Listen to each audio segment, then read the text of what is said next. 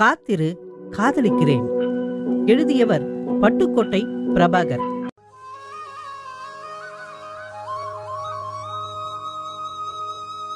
காலை சூரியன் பூமியை தொட நீர்நிலைகள் கண்ணடித்தன. பறவைகள் பயணம் துவங்க வயல்களில் பச்சை கதிர்கள் கையசைத்தன. வேறுபாடின்றி அனைவரையும் தாளாட்டத் தொடங்கியது கம்யூனிசத் தென்றல். அந்த சின்ன கிராமம் கொஞ்சம் தாமதமாய் எழுந்திருந்தது. வேப்பங்குச்சி ஒடித்து பல் துலக்கியது. பித்தளை செம்பில் தண்ணீர் எடுத்துக்கொண்டு புதர்மறைவுக்கு போனது. மாடுகள் எழுப்பப்பட்டு வண்டியில் கட்டப்பட்டன. டீ குடித்துவிட்டு காதோரம் பீடியுடன் வேட்டி மடிப்பில் புகையிலையுடன் கலப்பையை தோளில் சுமந்து வயல் நோக்கி வெறும் காலுடன் உழவர்கள் நடந்தனர். குடிசைகளின் உச்சந்தலையில் ஏறித் திரிந்து சேவல்கள் கத்தின.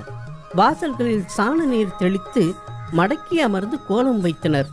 இடுப்பில் குடம் சுமந்து தோளில் துவைக்க வேண்டிய உடுத்த வேண்டிய துணிகள் சுமந்து தூக்க கலக்கத்தில் பெண்கள் ஆறு நோக்கி நடந்தனர். மல்லி இன்னைக்கு கிணத்துக்கு போலாம் வாடி. அடியாத்தி ஊர் கடைசியில எல்லாம் இருக்கு. அவ்வளோ தூரம் யார் நடக்கிறது? தினைக்கும் தான் ஆத்துல குளிக்கிறோமே. அட வாடி. நேரமாயிடும். ஆத்தா திட்டும். அதெல்லாம் திட்டாது. நான் தான் இட்டாந்தேன்னு சொல்லிக்கிறேன். அங்க ஆம்பளை பசங்க தொந்தரவு இருக்காது. சுதந்திரமா குளிக்கலாம். சரி அப்பனா வேகமா நட. வயல்கள் நடுவில் ஒற்றையடி பாதையில் நடந்து மாந்தோப்புகளை கடந்து ஊர் எல்லை காவல் தெய்வத்தின் ஆஷ்பட்டாஷ் வேய்ந்த சின்ன கோவிலை தாண்டி அந்த பெரிய சதுர வடிவ பழைய கிணற்றை நோக்கி அவர்கள் நடந்தார்கள். கிணறு விளிம்புகள் சிதைந்திருந்தது. உள்ளே தெளிவில்லாத தண்ணீர். பக்க சுவர்களில் அங்கங்கே தாவரங்கள். வளைவாய் இறங்கிச் செல்லும் படிகளின் ஓரங்களில் பாசி. மலி நீ படி வழியா இறங்கு. நீ நான் இங்க எந்த குதிக்க போறேன்? வேணாண்டி கல்யாணத்துக்கு தயாரா இருக்க. அடிக்கடி பட்டுடும். கல்யாணத்துக்கு அப்புறம் எந்த ஊரோ எந்த தேசமோ இப்படி குதிக்கிற சுகம் கிடைக்குமா? சொன்னா கேட்க மாட்ட. எப்படியோ போ. மலி படியில ஜாக்கிரதையா இறங்கு. தோழி தாவணியை இடுப்பில் சொருகிக் கொண்டு குடத்தை ஓரமாக வைத்துவிட்டு ஒன்னு ரெண்டு மூணு. என்று முழங்கால் வரை பாவாடை விரிய உள்ளே குதித்தாள். சில வினாடிகள் கழித்து மேலே வந்தவள் என்று கத்தியபடி படியை நோக்கி திணறினாள். தத்தளித்தாள். என்னடி ஆச்சு? மல்லி கை கொடுத்து அவளை படிக்கு இழுத்து அமர்த்த தனது வலது காலை காட்டினாள். சரியாய் உள்ளங்காலில் எதுவோ கிழித்து ரத்தம் வந்து கொண்டிருந்தது. சொன்ன கேட்டியா? கண்ணாடியோ எதுவோ இப்படி கிழிச்சிருக்கு பாரு. துண்டை நீரில் நனைத்து அவள் காலில் இறுக்கி கட்டினாள். கட்டிவிட்டு நிமிர்ந்து கொலுசு எங்கடி? ஐயையோ உள்ள விழுந்துருச்சு போல இருக்கு. இப்ப என்ன செய்யலாம்? நகரு. நான் உள்ள போய் தேடி பார்க்கறேன். கொலுசு தொலைச்சிட்டு காயத்தோட வீட்டுக்கு போனா நான் தொலைஞ்சேன். நீ உட்காரு. நான் முங்கி தேடி பார்க்கறேன். மல்லி நீருக்குள் மூழ்கினாள். தம் பிடித்துக்கொண்டு கைகளை துழாவினாள் தரை தொட்டாள் கைகளை செலுத்தி தேடினாள். கல்லும் மண்ணும் தட்டுப்பட்டன. மேலே வந்தாள். மூச்சு விட்டாள். கிடைச்சதா? இன்னும் இல்ல. பதறாம பார்க்கலாம். இரு. மறுபடியும் நீரில் காணாமல் போனாள். மீண்டும் துளாவினாள் அலசினாள் இந்த முறை கைக்கு ஏதோ தட்டுப்பட்டது. கையால் பிடிக்கிற மாதிரி எதுவோ கொலுசு இல்லை. அதை எடுத்துக்கொண்டு மேல் பரப்புக்கு வந்து கையை வெளியே எடுத்து பார்த்து பதறினாள். அது முக்காலடி நீளத்தில் பளபளத்த கத்தி. என்னடி இது? படியை பிடித்துக்கொண்டு மிதந்த வள்ளி தெரியலையே. இவ்ளோ பெரிய கத்தி எப்படி தண்ணிக்குள்ள வந்துச்சு? இதுதான் என் காலை கிழிச்சிருக்கு. பார்த்தா பழம் நறுக்கிற கத்தி மாதிரி தெரியலையே. நீ வேற இவ்ளோ பெரிய முரட்டு கத்தியாலியா பழம் நறுக்குவாங்க? நம்ம வேலுச்சாமி அண்ணா இடுப்புல வச்சிருக்குமே அது மாதிரி இருக்கு. சரி நீ ஓரமாவே குழி நான் கொஞ்சம் நீச்சல் போடுறேன். மல்லி கத்தி எடுத்த பகுதிக்கு நேரெதிரே மூளையை நோக்கி நீந்தினாள். என் கொலுசு கிடைக்கலையே. இன்னும் ஒரே ஒரு தடவை போய் பாரு மல்லி. மூச்சு வாங்குதுடி. சரி இதுதான் கடைசி தடவை. இப்பவும் கிடைக்கலனா ஆளை விட்டுடு. என்ன போட்டு தொல்லை பண்ணக்கூடாது. மல்லி எதிர்மூலை பகுதியில் மூழ்கி தரைமட்டம் சென்று தடவினாள். இந்த முறை அவள் கைக்கு ஒரு கயிறு தட்டுப்பட அந்த கயிற்றின் முனை நோக்கி கையை கொண்டு சென்றபோது ஒரு பெரிய பாறாங்களுடன் அந்த கயிறு கட்டப்பட்டிருப்பதை உணர்ந்தாள். கல்லை தவிர மற்றொரு முனை அவள் கையையே இழுத்தது. இப்போது அவள் உடம்பில் எதுவும் மிருதுவாக தட்டுப்பட்டது. அவள் கைப்பட்டு கல்லில் சுற்றின கயிறு தளர்ந்து வெளிப்பட எதையோ அபாயகரமாய் உணர்ந்த மல்லி அவசரமாய் நீர்பரப்புக்கு வந்து நீந்தி படிக்கு வந்து மூச்சு திணறினாள். உள்ள உள்ள உள்ள என்னடி? புரியல. என் மேல எதுவோ மோதுச்சு. கைத்தால கல்லுல கட்டி போட்டிருக்காங்க. என்னடி உளர்ற? இவள் கேள்விக்கு பதிலாக அந்த இடத்துக்கு கீழே. என்று இவள் மூழ்கின இடத்தை சுட்டிக்காட்டி கை நீட்டியவள் நிறுத்தினாள். அந்த மேற்பரப்பில் மெதுவாக வந்து மிதந்தது அந்த பிணம்.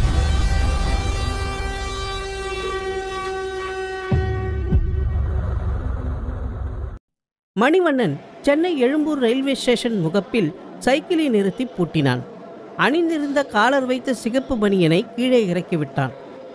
பேண்டின் பின் பாக்கெட்டிலிருந்து கையடக்க சீப்பு எடுத்து கொஞ்சம் கலைந்திருந்த தலையை சீவிக்கொண்டான் உள்ளே நுழைந்து பிளாட்ஃபாரம் டிக்கெட் வாங்கி கொண்டு நடந்தான்.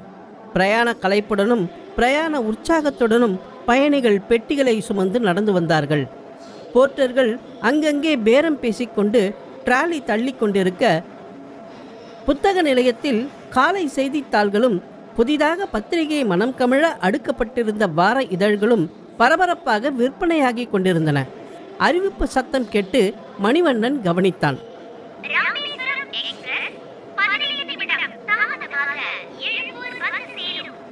அறிவிப்பு மொழிமாற்றம் செய்யப்பட்டது.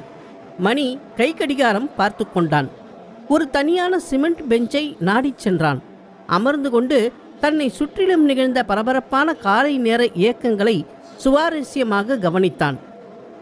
சட்டை பையிலிருந்து சிகரெட் எடுத்து பற்ற வைத்துக்கொண்டு நிதானமாக புகைத்தான். ரயிலின் பதினைந்து நிமிட தாமதம் அவனுக்கு எரிச்சலை தரவில்லை. மாறாக சின்ன சந்தோஷத்தை தான் தந்திருந்தது. இப்படி அமைதியாக அமர்ந்து சுகமாக புகைப்பிடிக்க முடிந்திருக்குமா? இவன் அருகில் வந்து அமர்ந்த பெரியவரிடம் பத்திரிகை கடன் வாங்கி படித்தான். மறுபடி சுருக்கமில்லாமல் மடித்து திரும்ப கொடுத்து நன்றி சொன்னான்.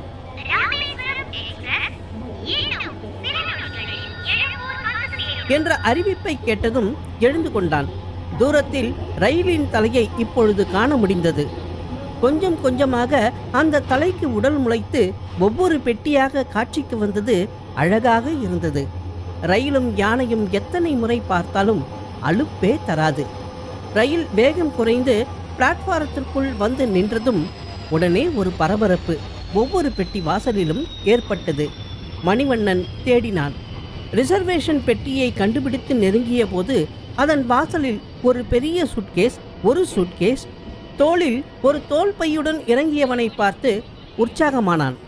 ஆனால் சென்னை மாநகரம் உன்னை வரவேற்கிறது வா! என்று அவனிடமிருந்து ஒரு பெட்டியை வாங்கி கொண்டு பிரயாணத்தில் தூங்கினியா இல்லையா? கண்ணி ஏன் இப்படி செவந்திருக்கு? என்று உரிமையுடன் ஒரு கையை அவன் தோள் மேல் போட்டுக்கொண்டு நடந்தான் மணி. ஒரு பொட்டு தூக்கம் இல்லை மணி என்ற ஆனந்த் உயரமாய் இருந்தான். நீல முகம் அடர்த்தியான புருவங்கள் மேலுதொட்டை கிட்டத்தட்ட மூடும் அளவிற்கு புஷ்டியான மீசை ஒவ்வின கன்னங்களில் ஒன்றிரண்டு பருக்கள். தலையை தூக்கி பம்மென்று வாரியிருந்தது முகத்திற்கு ஒரு அழகு சேர்த்தது. கைகளில் செப்பு காப்பு அணிந்திருந்தான். ஏன் தூக்கம் இல்ல? கெட்ட கனவா? தூங்கினா தானே கனவு வரும். எனக்கும் மேல் பர்த்து கிடைச்சிடுச்சு. லக்கேஜ் பூரா கீழே வச்சிருந்தேன். இந்த காலத்துல யாரை நம்புறது? எவனாவது இறங்குறப்ப சேர்த்து எடுத்துக்கிட்டு இறங்குனாலும் யாரு கேட்க போறாங்க? நல்லா பயந்தப்போ. ஊர்ல எல்லாரும் நலமா? ம்.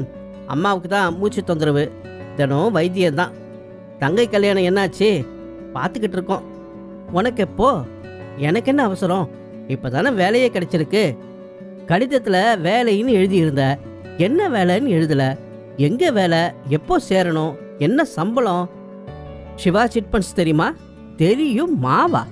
நகரத்திலேயே அதான் புகழ் வாய்ந்த சிட்ஃபண்ட்ஸ் கிட்டத்தட்ட ஐம்பது வருஷமாக நல்ல முறையில் நடத்துகிறாங்க தமிழ்நாடு முழுக்க நிறைய கிளைகள் இருக்குது நாணயமான நிறுவனம். அங்கே தான் வேலை. கணக்கு வேலை தான் சேர்றப்ப மூவாயிரம் ரூபா பாதுகாப்பு தொகையாக கட்டணும். நான் நாளைக்கு சேர்றேன். பணம் கொண்டாந்துருக்கியா? ம். அம்மாவோட சங்கிலி பணமாக மாறிடுச்சு. என்ன சம்பளம்? எழுநூறு ரூபா. அப்புறம் கொஞ்சம் சலுகைகள். தனிநபருக்கு போதும். குடும்பம்னா கொஞ்சம் திணறும். நமக்கு தேவைப்படுற சம்பளத்தை தர்றதுக்கு யாராச்சும் வெத்தலை பார்க்க வச்சு கூப்பிடுவாங்களா என்ன? நாலு வருஷம் வேலை இல்லாமல் பட்ட கஷ்டம் எனக்கு தான் தெரியும். இது போதும் எனக்கு. ஸ்டேஷன் வாயிலை நெருங்கி டிக்கெட் பரிசோதகரிடம் டிக்கெட்டுகளை கொடுத்துவிட்டு வெளியே வந்தார்கள்.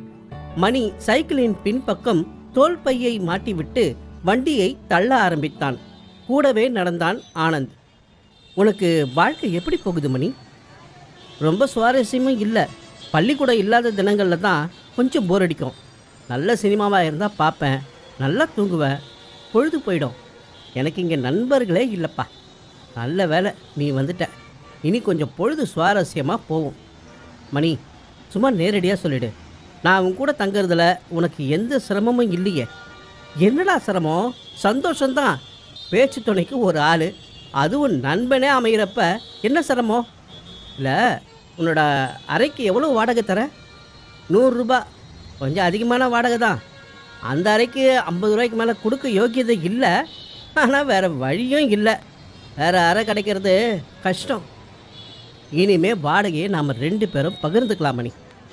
என்ன என்ன அப்படி கணக்கு பார்க்குறவன்னு நினச்சியா? இல்லை இல்லை நீ மறுக்காத. அதான் நியாயம். எங்கே சாப்பிட்ற? பக்கத்தில் ஒரு மெஸ் இருக்குது மாதம் நூற்றி ஐம்பது ரூபா. சரி அங்கேயே நானும் சாப்பிட்டுக்கிறேன். கொஞ்சம் சைக்கிளை தள்ளு ஒரு தம் அடிச்சுக்கிறேன் என்று ஆனந்திடம் வண்டியை கொடுத்துவிட்டு சிகரெட் பற்ற வைத்து கொண்டான் மணி. முந்தையெல்லாம் எப்போ ஒரு தடவை சிகரெட் குடிப்ப? இப்போ என்ன? சட்டையில் பாக்கெட் வச்சுருக்க? வளர்ச்சி தான் ஏய் நழுவாத. ஒரு வாத்தியாரே சிகரெட் பிடிச்சா அப்புறம் மாணவர்களுக்கு உன் மேலே எப்படி மதிப்பு வரும்? அடப்போடா எந்த பிராண்டு சிகரெட் குடித்தா போதை அதிகமாக இருக்குன்னு நமக்கு சொல்லுவாங்கடா பசங்க. இப்போ எல்லாம் ஒரு வார்த்தை அதட்டி பேச முடியாது. கையில் பெரம்பெல்லாம் எடுக்கவே முடியாது. யாரையாச்சும் அடித்தால் அவ்வளவு தான் யோ உன்னை பள்ளிக்கூடத்துக்கு வெளியே பார்த்துக்கிறேன் வாயா அப்படிம்பான் தூரத்தில் நின்று கல்லால் அடிப்பான் உனக்கு பள்ளிக்கூட நேரம் என்ன? காலையில் ஒம்போதரையிலேருந்து ஒரு மணி அப்புறம் மத்தியானம் ரெண்டுலேருந்து நாலரை. இது பள்ளி நேரம். எனக்கு ஒவ்வொரு நாள் ஒவ்வொரு மாதிரி டைம் டேபிள் அமையும். சில தினங்களில் மத்தியானத்துக்கு மேலே எனக்கு வகுப்பே இருக்காது. என்ன செய்வா அப்போ? வேலையா இல்லை? பரீட்சை பேப்பரு கட்டுரை நோட்டுன்னு ஏதாச்சும் திருத்துகிற வேலை இருக்கும். சாயங்காலம் டியூஷன் வகுப்பு ரூம்லேயே எடுப்பேன். நாலஞ்சு மாணவர்கள் வருவாங்க. தனி வருமானமா? சிகரெட்டு சினிமான்னு தனி செலவுகளுக்கு உபயோகமாகுதே. உன்னோட பள்ளியில் ஆண்கள் பெண்கள் ரெண்டு பேரும் உண்டா? இருந்தால் தான் பரவாயில்லையே. ஆண்கள் பள்ளி ஓவிய டீச்சர் ஒன்று தமிழ் டீச்சர் ஒன்று ஆக ரெண்டே ரெண்டு பொம்பளைங்க தான் பள்ளியில். தமிழ் டீச்சர் சுபா கொஞ்சம் கண்ணடிக்கிற மாதிரி இருப்பாங்க. பாவி கண்ணடிச்சிட்டியா? சந்தர்ப்பம் அமையலை. இனிமேல் தான் முயற்சி பண்ணணும். பாடம் போதிக்கிற வாத்தியாரா நீ? உருப்படவே மாட்டடா. வாத்தியார்னா அவர் என்ன ஜடமா? பேசிக்கொண்டே அவர்கள் அரை மணி நேரம் நடந்து புரசைவாக்கம் நெடுஞ்சாலை வந்து மில்லர் தெரு வந்தார்கள். அதில் ஒரு சின்ன அரச மரம் நின்ற ஒரு ஓட்டு வீட்டின் வாசலில் சைக்கிளை நிறுத்தி பெட்டிகளை எடுத்துக்கொண்டார்கள் திண்ணையில் அமர்ந்து சட்டையில் பட்டன் வைத்து தைத்து கொண்டிருந்த மெலிந்த தேக பூணூல் அணிந்தவர் கேட்டார் என்னப்பா மணி? இதானா நீ சொன்ன தோஸ்து? ஆமாங்க. நல்லா இருக்கட்டும். போங்கப்பா. உள்ளே நுழைந்து முற்றம் அருகே வலது புறத்தில் இருந்த அறையின் கதவை திறந்தான் மணி. அவர்தான் வீட்டுக்கு சொந்தக்காரரா? ஆமாம் வேற யாரெல்லாம் இருக்காங்க வீட்டில் யாரும் இல்லை. அவர் மட்டும்தான். பையனுங்க ரெண்டு பேரும் பம்பாயிலையும் லக்னோலையும் வேலையில் இருக்காங்க. பொண்டாட்டி இறந்தாச்சு. வீட்டை வித்துட்டு வாங்கப்பான்னு பசங்க கூப்பிடுறாங்க. இவருக்கு பிடிவாதம். சாகிற வரைக்கும் இதே வீட்டில் தான் இருப்பேன்னு சொல்லிட்டாரு. வருமானம்? பேங்க்கில் பணம் போட்டிருக்காரு. அதில் வட்டி வருது.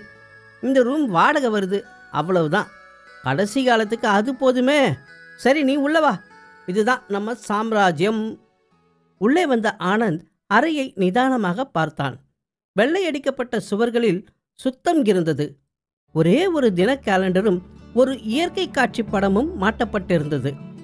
பாய் ஒன்று சுருட்டி வைக்கப்பட்டிருக்க இரண்டு மோடாக்கள் ஒரு பலவீனமான மேசை அதன் மேல் நிறைய நோட்டு புத்தகங்கள். நைலான் கயிற்றில் கொடி கட்டி அதில் ஈரமான துணிகள் தொங்கின.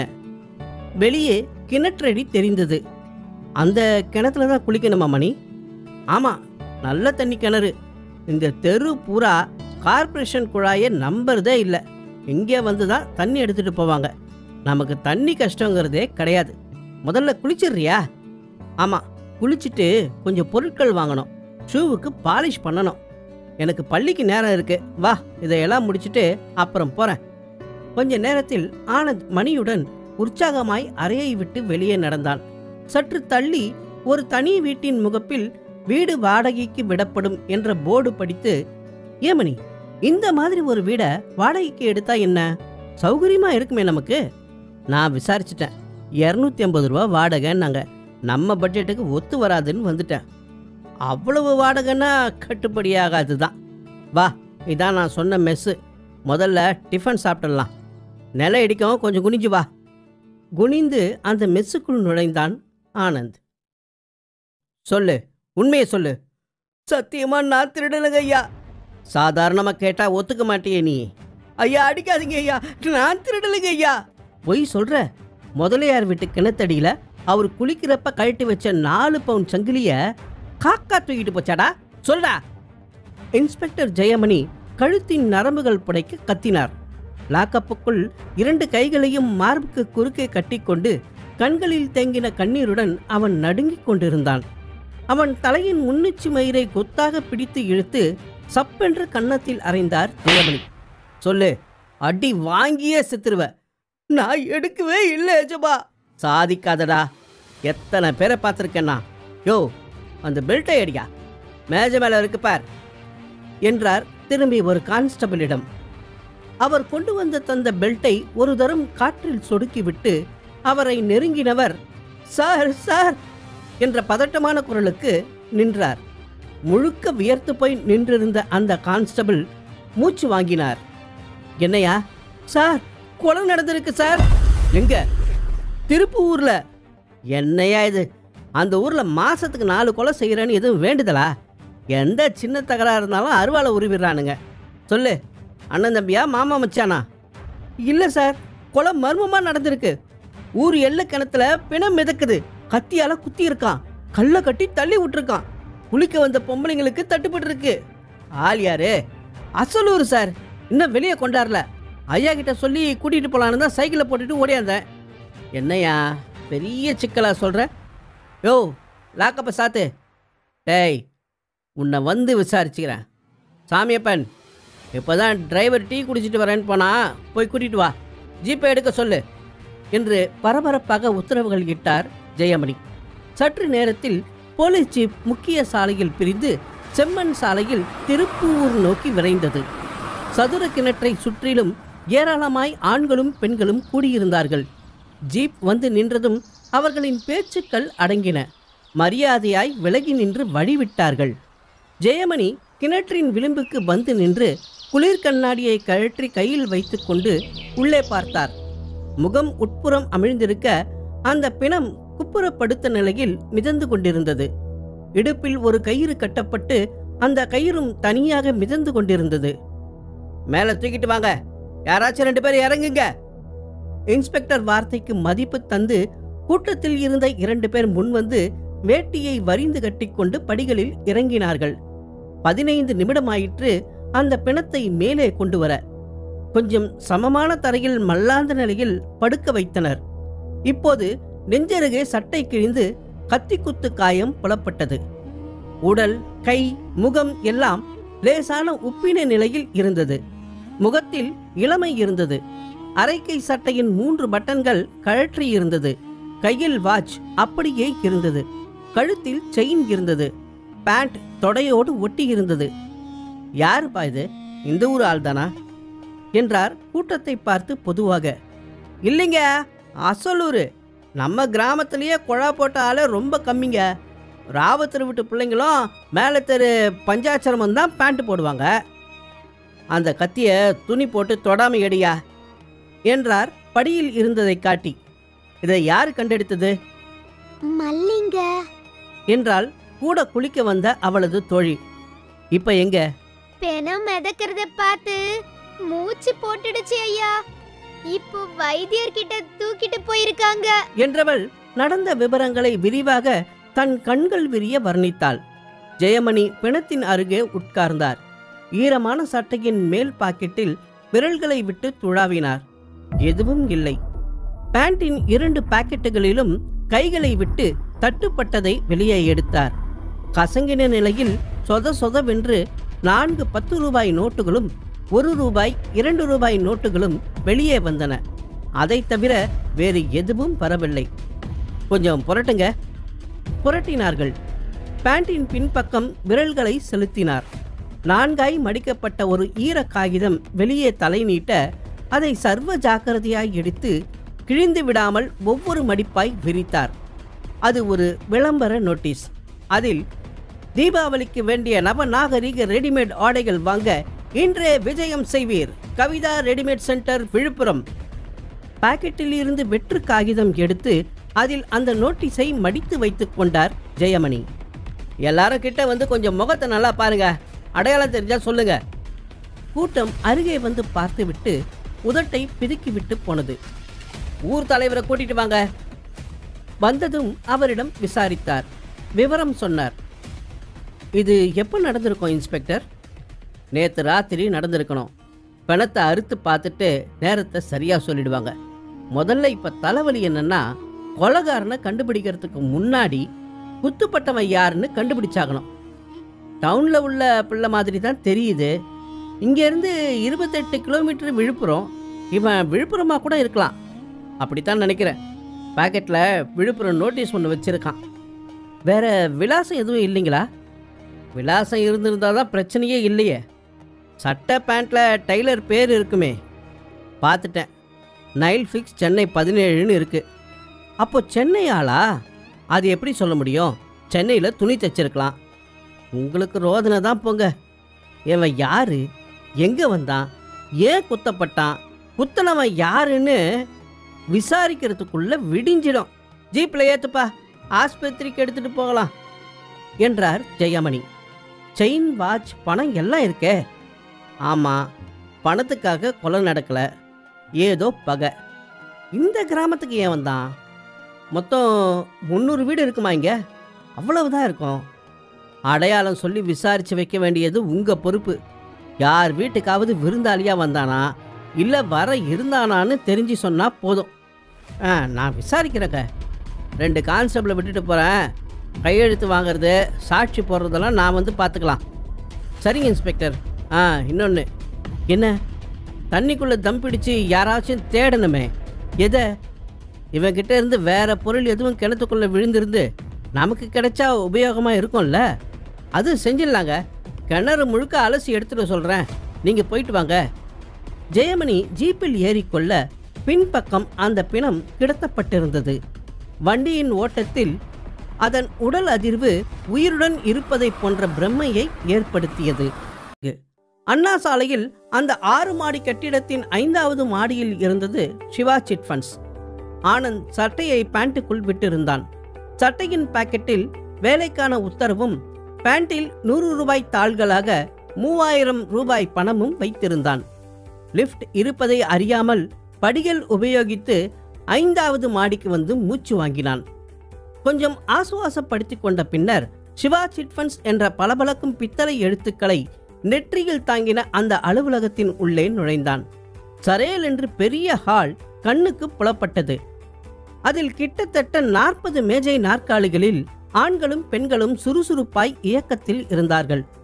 வரவேற்பு பகுதியை அணுகி அங்கிருந்த பெண்மணியிடம் தனது உத்தரவு கடிதத்தை காட்டினான். நேர போங்க.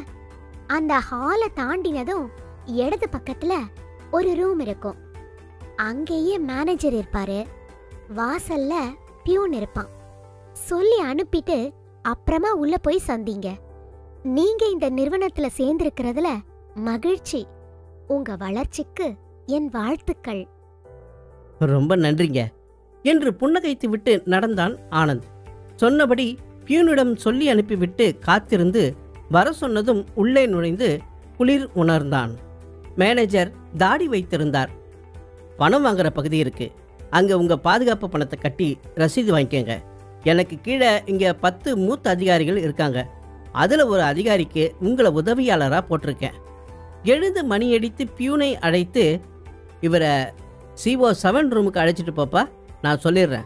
நீங்கள் போங்க ஆனந்த். என்று இன்டர்காம் சாதனத்தை எடுத்தார். பியூன் வழி நடத்தி செல்ல அவனை தொடர்ந்தான் ஆனந்த். குறிப்பிட்ட அந்த மூத்த அதிகாரியின் அறைக்கு செல்லும் முன்னதாக வழியில் பணம் பெறும் கவுண்டரை கண்டதும் தொகை செலுத்தி ரசீது வாங்கினான். மீண்டும் பியூனுடன் நடந்தான். வரிசையாக இருந்த தனி அறைகளில் சீனியர் ஆபீசர் செவன் என்று பிளாஸ்டிக் எழுத்துக்கள் தாங்கின கதவை காட்டி இதுதான் உள்ள போங்க என்றான் பியூன். ஆனந்த் மெதுவாக கதவை தட்டினான். எஸ் உள்ள வாங்க. என்று பெண் குரல் வந்தது. கதவின் கைப்பிடியை கீழே அழுத்தித் தள்ளி உள்ளே இவன் நுழைந்தவுடன் கதவு தானாக மூடிக்கொண்டது. எதிரே மேஜைக்கு அந்தப்புறம் அத்தனை இளமையாக அழகாக ஒரு பெண் அமர்ந்திருப்பாள் என்று இவன் எதிர்பார்க்கவில்லை. நிச்சயமாக இருபத்தி ஒன்று அல்லது இருபத்தி இரண்டு வயதுதான் இருக்கலாம். புருவங்கள் அழகாக தீட்டப்பட்டிருந்தன. மெல்லிய பிரேமில் கண்ணாடி அணிந்திருந்தாள். சிகப்பாய் வட்ட ஸ்டிக்கர் போட்டு ஒட்டியிருந்தாள். லிப்ஸ்டிக் தீட்டப்படாமலேயே உதடுகள் சிகப்பாய் இருந்தன. கன்னங்களில் செழுமையும் முகத்தில் மலர்ச்சியும் முன்புறம் எடுத்து போட்டிருந்த அடர்த்தியான ஒற்றை பின்னலில் ஒரு கவர்ச்சியும் அரை முழுக்க வாசம் நிரம்பியிருந்த மல்லிகை சரத்தில் ஒரு குடும்ப பாங்கும் தெரிந்தன. என்ன? அப்படி பாக்குறீங்க? நீங்க தானே மிஸ்டர் ஆனந்த்? ஆமா. நான் தான் உங்க உயர் அதிகாரி. என் பேர் விஜயா. உட்காருங்க. தயக்கமாய் எதிர் நாற்காலியில் அமர்ந்தான். உங்களுக்கு இதே அறையில மேசை நாற்காலி எல்லாம் நாளைக்கு போட்டுடுவாங்க. என்ன உயர் அதிகாரியா நினைக்க வேண்டாம்? ஒரு தோழியா நினைச்சு சகஜமா பழகுங்க. போதும். அனாவசியமா மரியாதைகள் வேணாம் அதே சமயம் அலட்சியத்தையும் நான் பொறுத்துக்க மாட்டேன். நிறுவனத்தோட வளர்ச்சிய மனசுல குறிக்கோளா வச்சு வேலை செய்யுங்க. அப்பதான் நாமும் வளர முடியும். வெறும் சம்பளத்துக்காக மட்டும் வேலை செஞ்சா வேலையில ஒரு ஒட்டுதலோ சுவாரஸ்யமோ இருக்காது. முன்னேற்றமும் கிடைக்காது. இதெல்லாம் ஒரு அதிகாரியா சொன்ன உத்தரவா தயவு செஞ்சு எடுத்துக்க வேணாம். ஒரு ஊழியர் சொன்ன ஆலோசனையா எடுத்துக்கிட்டா போதும். கையில் பென்சிலை வைத்து ஆட்டிக்கொண்டே படபடவென்று ஆனால் திருத்தமாக பேசிய அவளை சற்று மதிப்புடன் பார்த்தான் ஆனந்த். நீங்க சொன்ன எதுலயும் தப்பில்லைங்க. ஏத்துக்க வேண்டிய விஷயங்கள் தான். நான் இந்த நிறுவனத்துக்காக உண்மையா உழைப்பேன் என்றான் ஆனந்த். ரொம்ப சந்தோஷம். என்றபடி தனது மேஜையின் இழுப்பறையை திறந்து ஒரு ஒல்லியான புத்தகம் எடுத்து கொடுத்தாள். இத வச்சுக்கோங்க. இதுல நம்ம நிறுவனத்தோட தோற்றம் வளர்ச்சி இப்ப இருக்கிற கிளைகள் முகவரிகள் என்னென்ன வர்த்தகம்னு எல்லா விவரங்களும் விரிவா இருக்கு. ஓய்வு கிடைக்கும் போது படிச்சு பாருங்க. ஒரு ஊழியன் முதல்ல தான் வேலை பார்க்குற நிறுவனத்தை பத்தி விரிவா தெரிஞ்சுக்கிறது நல்லது. படிச்சிடுறேங்க. உங்களுக்கு சொந்த ஊரு? தஞ்சாவூர். குடும்பத்தை பத்தி சொல்லுங்க. அப்பா இல்லை அம்மா மட்டும்தான். ரெண்டு தம்பிங்க படிக்கிறாங்க. ஒரு அண்ணன் கோயம்புத்தூரில் மில்லில் வேலை பார்க்குறாரு. ஒரு தங்கை கல்யாணத்துக்கு இருக்கா. நான் படித்தது தஞ்சாவூரில் தான். நல்லது. பேனா கொண்டு வந்தீங்களா? இல்லையே. அவள் மேஜை மேல் இருந்த ஸ்டாண்டில் இருந்து ஒரு பேனாவை எடுத்து தந்து இப்போதைக்கு இத உபயோகிங்க. அப்புறமா உங்களுக்கு நிறுவனத்துல இருந்து கொடுக்க ஏற்பாடு பண்றேன். இந்த கடிதத்தை பாருங்க. பார்ட்டி சமாதானம் சொல்லி எழுதியிருக்காங்க. உங்க சமாதானத்தை எல்லாம் நாங்க ஏத்துக்க முடியாது. குறிப்பிட்ட தேதியில பணத்தை கட்டலனா நாங்க சட்டப்படி நடவடிக்கை எடுத்து ஆகணும்னு கண்டிப்பா ஆங்கிலத்துல எழுதுங்க. எழுதி வெளியே ஜெயான்னு டைப்பிஸ்ட் இருப்பா. அவ கிட்ட கொடுத்துடுங்க. இதுதான் உங்களுக்கு முதல் வேலை. என்றாள். ஆனந்த் உற்சாகமாக காகிதம் வாங்கி பேனா திறந்து கடகடவென்று எழுதி முடித்து காட்டினான். படித்துவிட்டு அவன் முகத்தை பார்த்தாள். பிரமாதம்! உங்க வாக்கிய நடை அழகா இருக்கு. கண்டிப்பு குறையாம எழுதியிருக்கீங்க. அதே சமயம் அவங்க மனசு புண்படாத மாதிரி இதமாகவும் தெரிவிச்சிருக்கீங்க. வெரி குட் என்று புன்னகைத்தாள். நன்றிங்க. உங்களை பத்தி தெரிஞ்சுக்கலாமா? சொன்னேனே. என் பேர் விஜயா. பத்து உயர் அதிகாரிகள்ல ஒருத்தி. என் குடும்பத்தை பத்தி விசாரிச்சீங்க. அதனால கேட்டேன். எனக்கு சொந்த ஊர் நாமக்கல். அம்மா இல்ல அப்பா மட்டும்தான். அங்க பெரிய ஜவுளி கடை இருக்கு. விஜயா ஜவுளி மாளிகைன்னு விவித பாரதியில விளம்பரம் கூட கேட்டிருப்பீங்களே. ஆமா கேட்டிருக்கேன். அதான் ரெண்டு அக்கா ரெண்டு பேருக்கும் கல்யாணம் ஆயிடுச்சு. நான் படிச்சுட்டு இருக்க பிடிக்கல. கல்யாணமும் இப்போ வேணான்னுட்டேன். பிடிவாதமா வேலையில சேர்ந்தேன் எங்க தூரத்து சொந்தத்துல ஒரு பாட்டியும் நானும் தான் இப்போ சென்னையில இருக்கோம். அவங்க சமைச்சிடுறாங்க வீட்டு வேலைய பாத்துக்கிறாங்க. பக்கத்துணையா இருக்காங்க ஜாலியா இருக்கேன். சரியான வீடு கிடைக்காம மாம்பழத்துல ஒரு ஒண்டு குடுத்தனத்துல தான் இருக்கிறேன். அதுதான் சங்கடமா இருக்கு. ஒரு தனி வீடு பாத்துக்கிட்டு இருக்கேன். இன்னும் சரியா அமையல. என்ன வாடகை உங்களால கொடுக்க முடியும்? முந்நூறு ரூபாய் வரைக்கும் கொடுக்கலாம். வருஷவாக்கம் தேவலாமா? பரவாயில்லையே. மாம்பழத்தை விட்டு நகந்தா போதும். ஒரு நாள் பாட்டிய கொசு எல்லாம் சேர்ந்து மொட்டை மாடியில தூக்கிட்டு போய் போட்டுடுச்சு. என்று சிரிக்க அந்த தமாஷுக்கு இவனும் சிரித்தான். ஆமா ஏன் கேட்டீங்க? வருஷவாக்கத்துல என் நண்பன் ஒருத்தர் ரூம்ல தான் நான் தங்கியிருக்கேன். பக்கத்திலே ஒரு தனி வீடு வாடகைக்கு விடப்படும்னு போர்டு மாட்டி இருந்துச்சு இரநூத்தி ஐம்பது ரூபா வாடகைன்னு நண்பன் சொன்னான். அதனால தான் கேட்டேன். உங்களுக்கு மறுப்பு இல்லனா இன்னைக்கு அலுவலகம் முடிஞ்சதும் நான் உங்க கூட வரலாமா? அந்த வீட்டை எனக்கு காட்டுறீங்களா? தாராளமா. சரி இப்ப வேலைகளை கவனிக்கலாம். என்று அடுத்து அவன் செய்ய வேண்டிய வேலைகளை விவரிக்க ஆரம்பித்தாள் விஜயா. அவள் கையில் வைத்திருந்த கோப்பின் பக்கங்களை புரட்டிக் கொண்டே பேச ஆனந்த் அவளின் அழகான முகத்தை நளினமாக அசையும் உதடுகளை அந்த அசைவில் வெளிப்படும் இனிய குரலை அந்த அதிர்வில் அசையும் காதின் தொங்கல்களை ரசித்துக் கொண்டே கவனித்தான். இன்ஸ்பெக்டர் ஜெயமணி பழுப்பு காகிதத்தில் தீவிரமாக எழுதி கொண்டிருந்தார். வாசலில் மோட்டார் பைக்கின் இருமல் கேட்டது. சப் இன்ஸ்பெக்டர் ரவிக்குமார் இறங்கி கையில் சில காகிதங்களோடு உள்ளே வந்து இன்ஸ்பெக்டர் எதிரில் நின்றார். காலை வணக்கம் சொன்னார். உட்காருங்க ரவி. ஹாஸ்பிட்டலில் இருந்து தானே வரீங்க? ஆமாம் சார். பிரேத பரிசோதனை அறிக்கையை வாங்கிட்டீங்களா? இதோ சார் ஏதாச்சும் உபயோகமாக இருக்கா? என்று கேட்டபடி வாங்கி பிரித்து பார்த்தார் ஜெயமணி. முதல் நாள் ராத்திரி ஒன்பதுலேருந்து பத்துக்குள்ள மரணம் நடந்திருக்கு சார் சரியாக நெஞ்சுக்குழியில் கத்தி இறங்கியிருக்கு. சாகரத்துக்கு ஒரு மணி நேரம் முன்னாடி நிறைய சாப்பிட்ருக்கான் உடலில் உணவு செரிமானமாகி ஆகாத நிலையில் இருக்கு. அதில் பச்சை பட்டாணி அதிகம் இருக்கு. ஜெயமணி யோசனையாய் மறுபடி படித்தார். திருப்பூர் மறுபடி போனீங்களே சார்? ஏதாச்சும் தெரிஞ்சுதா? உதட்டை பிதுக்கினார் ஜெயமணி. அவன் அந்த ஊருக்கு விருந்தாளியாக வந்தவன் இல்லை. யாருக்குமே தெரியலன்னு சொல்கிறாங்க ஊர் தலைவர் துப்புரவாக விசாரிச்சிட்டார். நம்ம கான்ஸ்டபிள்களும் ஒரு வீடு விடாமல் விசாரிச்சிட்டாங்க. திருப்பூருக்கு முன்னாடி பற்றி தொட்டி விசாரிக்க சொல்லி அனுப்பியிருக்கேன் ஃபோட்டோ எடுத்து அடையாளம் தெரியாத பணம்னு போட சொல்லி பத்திரிகைக்கும் கொடுத்துட்டேன். நாளைக்கு வருது. சர்க்கிள் கூப்பிட்டு மந்தமாக இருக்காதீங்கன்னு சொன்னார். நாம் என்னமோ இங்கே வெத்தலை பாக்கு போட்டுக்கிட்டு அரட்டை அடிச்சுக்கிட்டு இருக்கிறது தான் நினப்பு அவருக்கு. சார் கத்தியில் ரேகை கிடைக்கணும்னு நம்பலாம் சார். வச்சுக்கிட்டு முதுகு சொரியறதா? முதல்ல செத்தவன் யாருன்னு தெரியணும். அதுக்கப்புறம் தான் இந்த கேஸே நகரும். சார் அந்த விளம்பர நோட்டீஸு அதைத்தான் ஏன் சொல்ல வந்தேன். இந்தாங்க விழுப்புரம் போய் இந்த கடையில் விசாரிச்சுட்டு வந்துடுங்க சரி சார். ரவிக்குமார் அந்த கிழியும் நிலையில் இருந்த நோட்டீஸை வாங்கி பையில் வைத்துக்கொண்டு புறப்பட்டார். மோட்டார் பைக்கை உசுப்பினார். அரை மணி நேரத்தில் விழுப்புரத்தில் இருந்தார். கவிதா ரெடிமேட் சென்டர் மிக ஜோடனையாய் இருந்தது. முகப்பில் கண்ணாடி கூண்டுக்குள் சட்டைகள் கவுன்கள் அழகாக பின்குத்தி காட்சிக்கு வைக்கப்பட்டிருந்தது. கடைக்குள் பகலிலும் விளக்குகள் அனைத்தும் உயிரோடு இருந்தன.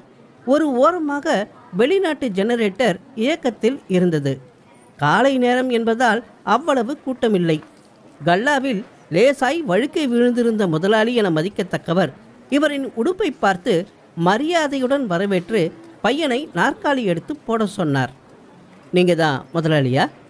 ஆமாம் சார். நீங்கள் பக்கத்தில் Sandhipattu police station sub inspector. சந்தோஷம். என்ன சார் வேணும்? ஒரு விசாரணைக்காக வந்திருக்கேன். இதை பாருங்க. அந்த நோட்டீஸை எடுத்து காட்டினார். இது நம்ம கடை நோட்டீஸு தான் சார் இதுக்கு என்ன சார் இந்த நோட்டீஸு எப்போ போட்டீங்க? இப்போ தான் சமீபத்தில் தான் தீபாவளிக்காக போட்டேன். இதை எப்படி விநியோகம் செய்கிறீங்க முந்தா நாள் காலையில் தான் அச் ஆஃபீஸ்லேருந்து நோட்டீஸ் வந்துச்சு. பஸ் ஸ்டாண்டில் வச்சு எல்லாருக்கும் கொடுக்க சொன்னேன். அது சரியாக வரல. நிறைய பேர் வாங்கி கை தொடச்சி போட்டுட்டு இருந்தாங்க. படித்தே பார்க்குறதில்ல. அதனால் தினசரி பத்திரிகைக்கு உள்ளே வச்சு விட ஏற்பாடு செஞ்சேன். காலையில் பத்திரிக்கை பிரிக்கிறப்ப கீழே விழும். என்னடான்னு பிரித்து பார்ப்பாங்க. படிப்பாங்க. வீணாகாது பாருங்க. ம் நல்ல யோசனை தான். எல்லா நோட்டீஸும் தீர்த்துட்டீங்களா? ஆ முடிஞ்சு போச்சு சார். இப்போ வேறு விதமாக மறுபடியும் ஐயாயிரம் நோட்டீஸ் அடிக்க கொடுத்துருக்கேன். இந்த நோட்டீஸு எவ்வளோ போட்டிங்க?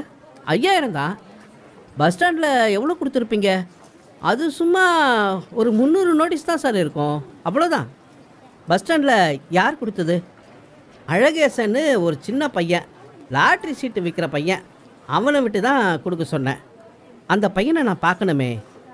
பஸ் ஸ்டாண்டில் தான் டிக்கெட் வித்துட்டு இருப்பான்.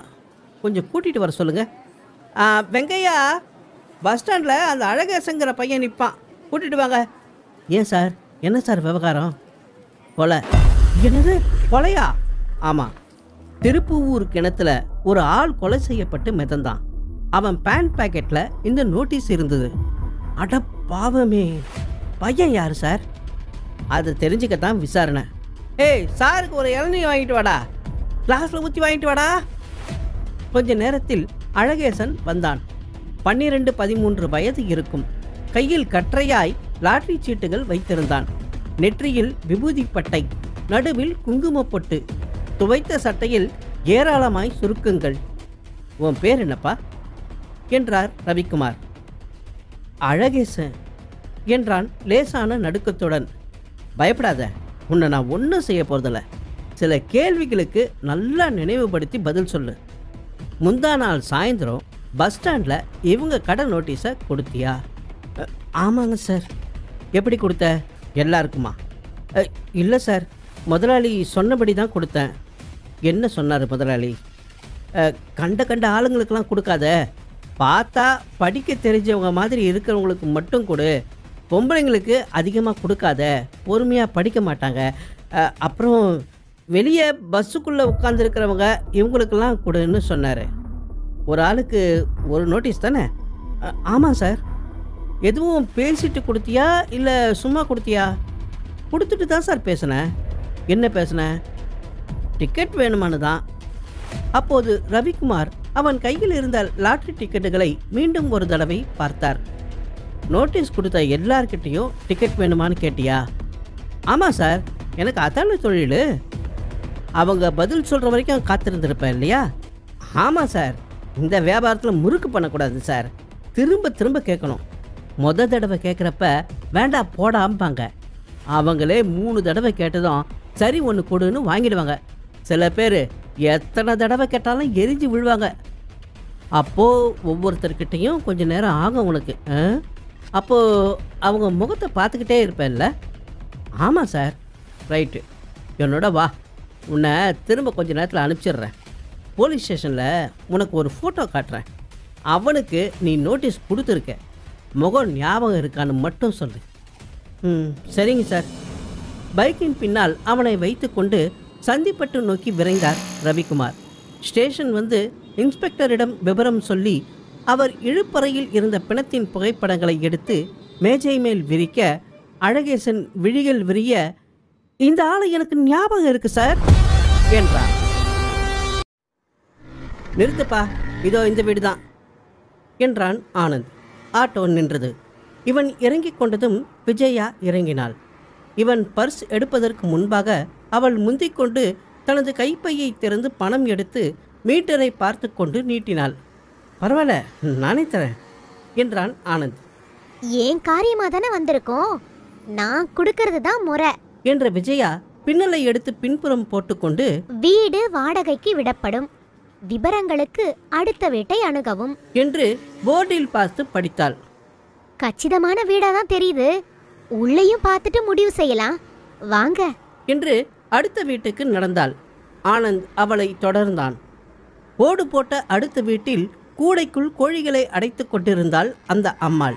ஒரு சிறுமி ஒரு கைக்குழந்தையை தூக்க முடியாமல் தூக்கி கொண்டு வாசலுக்கு வந்தவள் இவர்களை பார்த்ததும் அம்மா யாரோ வந்திருக்காங்க. என்றாள் திரும்பி. கையிலிருந்து தப்பித்து சென்ற கோழியை விரட்டி பிடித்து கூடைக்குள் அனுப்பிவிட்டு கழுத்தின் வியர்வையை துடைத்து கொண்டே வந்த அந்த அம்மாள் என்ன வேணும் உங்களுக்கு? பக்கத்து வீடு வாடகைக்கு விடப்படும்னு. நம்ம வீடுதான் பார்க்கலாமா? வீட்டுக்காரர் தான் சாவி வச்சிருக்காரு. மளிகை கடைக்கு அனுப்பியிருக்கேன். இப்ப வந்துருவாரு. உட்காருங்க சிவகாமி அந்த பாய எடுத்துட்டு வாமா பரவாயில்ல. நாங்கள் ஒரு பத்து நிமிஷம் கழிச்சு வரோம். என்று வெளியே வந்தான் ஆனந்த். அவனை தொடர்ந்து வந்த விஜயா ஏ கொஞ்ச நேரம் உட்காரலாமே. பத்து நிமிஷத்துக்கு என்ன செய்ய போறோம்? பக்கத்தில் தான் என் ரூம் அங்கே போகலாம் வாங்க. சரி. இருவரும் நடந்தார்கள். தனது அறை வந்ததும் நிலையின் மேல் பகுதியில் துளாவி சாவி எடுத்து பூட்டை திறந்தான் ஆனந்த். இப்படி சாவிய மேல வைக்கிறதுக்கு பூட்டாமையே இருக்கலாமே. என்று சிரித்தாள் விஜயா. அது கூட நல்ல யோசனை தான். இங்கே திருடுறதுக்கு என்ன இருக்கு? வாங்க உள்ள வாங்க. பரவாயில்லையே. ரூம் ரொம்ப சுத்தமா இருக்கே. நான் நேத்து தான் இங்க வந்தேன். இனிமே நாசம் பண்ணிடுவேன். உட்காருங்க. என்று ஒரு மோடா எடுத்து போட்டான். ஒரு அமுல் டப்பாவை திறந்து உள்ளே இருந்து பிஸ்கட் பாக்கெட் எடுத்து பிரித்து நான்கு பிஸ்கட்டுகளை ஒரு காகிதத்தில் வைத்து நீட்டினான். பிரம்மச்சாரிகளோட அறை. அதனால தட்டெல்லாம் இல்லை இங்க. அதனால என்ன? பரவாயில்ல. ஆமா உங்க நண்பர் என்ன செய்றாரு? உயர்நிலை பள்ளியில வாத்தியாரா இருக்கான். வர்ற நேரம்தான். என்று அலமாரியில் தேடி ஒரு பழைய வார இதழ் ஒன்றை எடுத்து வந்து தந்தான். படிங்க. உங்க கூட பேசிக்கிட்டு இருக்கலாம்னு நினைச்சேன் புத்தகத்தை பாருங்கன்னு சொல்றீங்களே. ஓ பேசலாமே. உங்களுக்கு பேச விருப்பம் இல்லைன்னா நான் அறுக்கிற மாதிரி இருக்கணும் தான். சேச்சே நான் தான் சொன்னேனே. என்ன உங்க உயர் அதிகாரியா பார்க்காதீங்க ஒரு தோழியா பாருங்கன்னு. உங்க நண்பர்கிட்ட பேச என்ன தயக்கம்? சினிமா பாப்பீங்களா? நிறைய பார்ப்பேன் நானும் பாக்குறதுண்டு.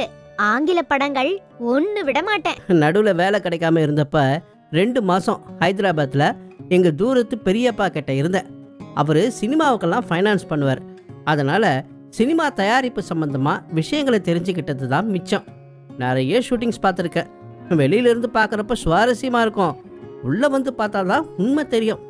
ரொம்ப கஷ்டமான தொழில். நடிகர்களும் நடிகைகளும் என்னமோ பலூன் கட்டி ஆகாசத்தில் பறந்துக்கிட்டு இருக்கிறதா நினைக்கிறோம். ஆனால் அவங்களும் மனுஷங்க தானே. அவங்களுக்கும் ஆசை பாசம் கோபம் எல்லாம் உண்டுன்னு புரிஞ்சிக்கிறது இல்லை ஒரு நடிகை காதலிச்சா கேவலமாக நினைக்கிறாங்க. ஒரு நடிகன் யாரையாச்சும் அடிச்சிட்டா அதை பத்திரிகையில் பிரமாதப்படுத்திடுறாங்க. ஒழுக்க நிலைன்னு எடுத்துக்கிட்டா சினிமாவில் கொஞ்சம் குறைவு தான் ஆனால் எந்த துறையில் இல்லை. அங்கே அதிகம்னா அதுக்கு காரணம் அங்கே சந்தர்ப்பம் அதிகம். நாட்டில் முக்காவாசி பேர் கெட்டவனாக செயல்பட சந்தர்ப்பம் அமையாததால தான் நல்லவனாக இருக்காங்க. என்னங்க நான் சொல்கிறது ரொம்ப அனுபவபூர்வமாக சொல்கிறீங்க மிஸ்டர் ஆனந்த். சினிமாக்காரங்களை பரிவோடு பார்க்குற உங்கள் மனசு எனக்கு பிடிச்சிருக்கு. நீங்கள் எப்படி? சந்தர்ப்பம் இல்லாதனால நல்லவரா? இல்லை. என்னங்க இது? அடிமடியிலேயே கை வைக்கிறீங்க. காந்தி தாத்தாவுக்கு அப்புறம் இந்தியாவில் ஒரு ஜூனியர் மகாத்மா காந்தி பிறந்தாரே. அவர் யாருங்க? அது யாரு தெரியலையே? நான் தான். விஜயா மிக ரசித்து குலுங்கி சிரித்தாள்.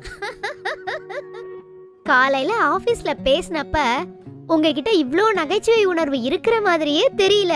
சுவாரஸ்யமா பேசுறீங்களே. ஆஃபீஸில் இதே மாதிரி பேசினா வந்த முதல் நாளே வாய் அடிக்கிறான்னு வெளியில் அனுப்பிட்டா என்னங்க செய்யறது? அப்புறம் எனக்காக காத்துட்டு இருக்கிற அந்த பொண்ணுக்கு எந்த நம்பிக்கையில் தாலி கட்டுவேன் அட தயாரா பொண்ணு இருக்கா? சொந்தமா இல்ல காதலா? ரெண்டும் இல்லைங்க. பின்ன? யாருன்னு தெரியலங்க.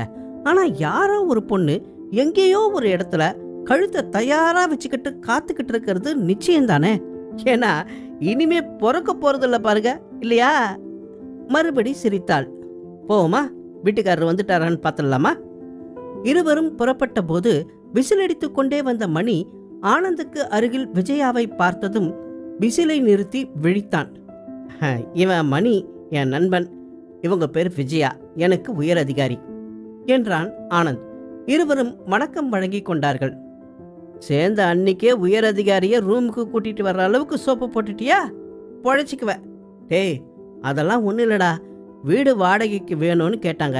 காலையில் பேசிக்கிட்டோமே அந்த வீட்டை பற்றி சொன்னேன். பார்க்கணுன்னு நாங்கள் அழைச்சிட்டு வந்தேன். வீட்டுக்காரன் இல்லை. அவன் வர்ற வரைக்கும் இங்கே இருக்கலான்னு அழைச்சிட்டு வந்தேன். டேய் நான் சும்மா தமாஸ்க்கு சொன்னேன். போய் பாருங்க போங்க.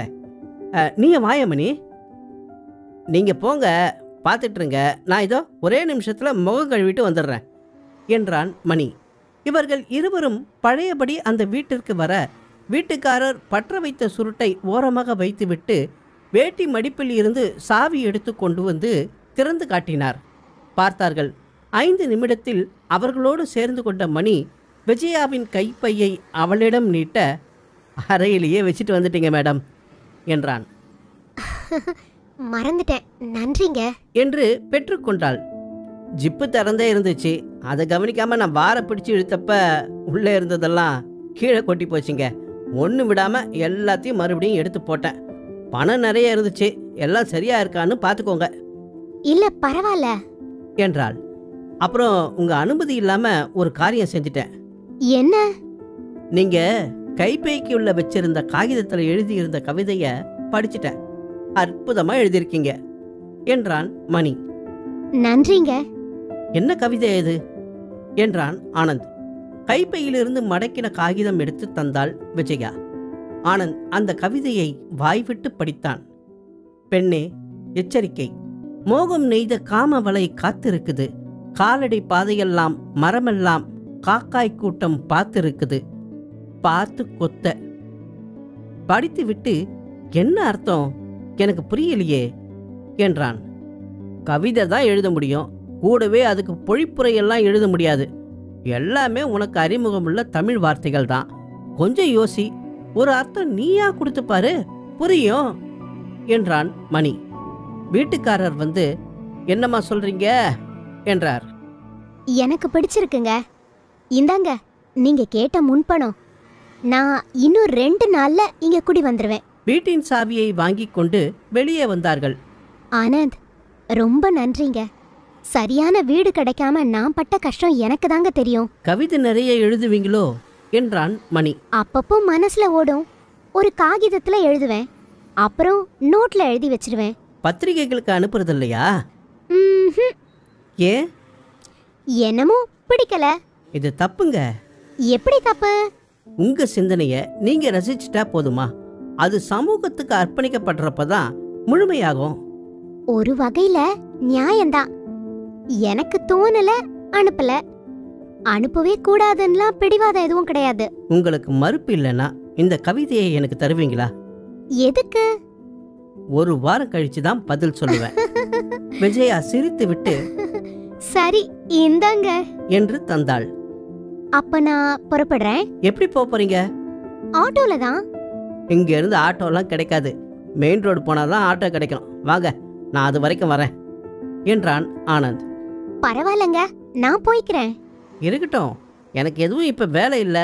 மணி நீயும் வரியா? இல்லைடா எனக்கு கொஞ்சம் வேலை இருக்கு. நீ போயிட்டு வா. அப்புறம் இங்கே தானே வரப்போறீங்க? அடிக்கடி சந்திக்கலாம். உங்கள் கவிதை நோட்டை எனக்கு படிக்க தரணும். அவசியம் தரேன். வரட்டுமா? ஆனந்தும் விஜயாவும் நடந்தார்கள். உங்களுக்கு கவிதைகள்ல ஆர்வம் கிடையாதா மிஸ்டர் ஆனந்த்? எதுக்குங்க பொய் சொல்லணும்? எனக்கு ஆர்வம் இல்லை. இப்படி நேரா ஒத்துக்கிறது நல்லா இருக்கு. நிறைய பேர் பொய் வேஷம் போடுறப்ப எனக்கு பத்துக்கிட்டு எரியும். ஒவ்வொருத்தருக்கு ஒவ்வொரு துறையில் ஆர்வம். காற்று திசை மாதிரி அடித்தா என்னைக்காவது ஒரு நாள் ஒரு சினிமா டைரக்டர் ஆயிடுவேன்னு எனக்குள்ள கனவு உண்டு.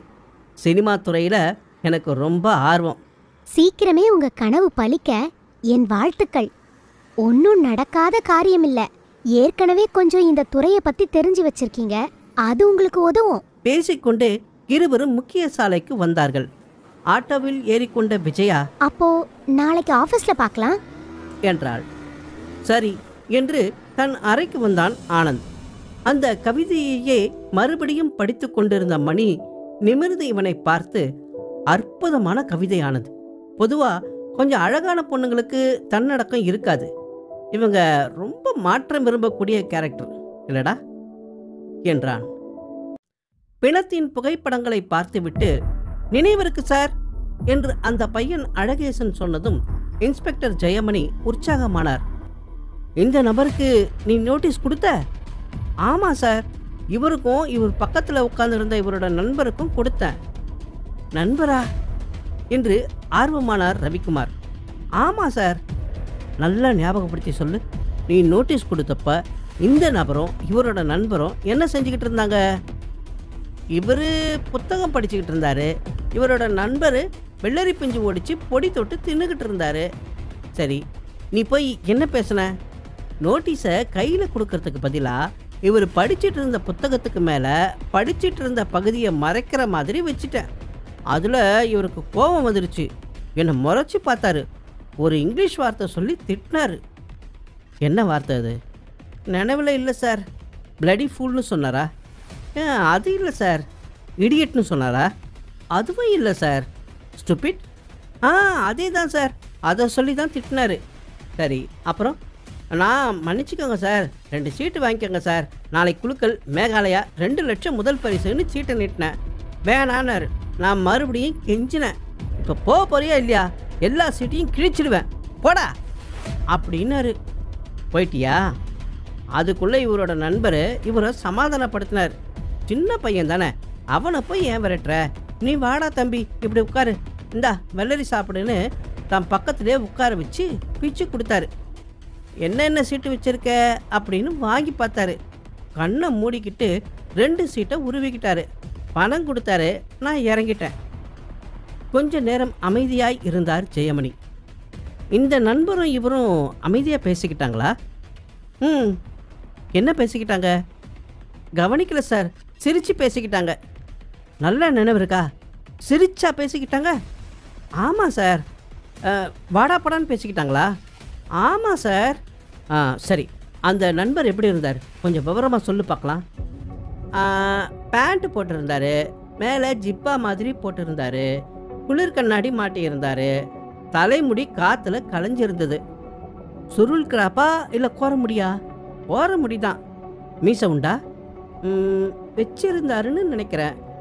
வேற அடையாளம் எதுவும் நினைவில் இருக்கா? வேற எதுவும் யோசனைக்கு வரலையே. முகத்தில் விபூதி குங்குமம் ஏதாச்சும்? அதெல்லாம் எதுவும் இல்லை. முகத்தில் மச்சம் பரு எதுவும் பார்த்தியா இல்லை சார்.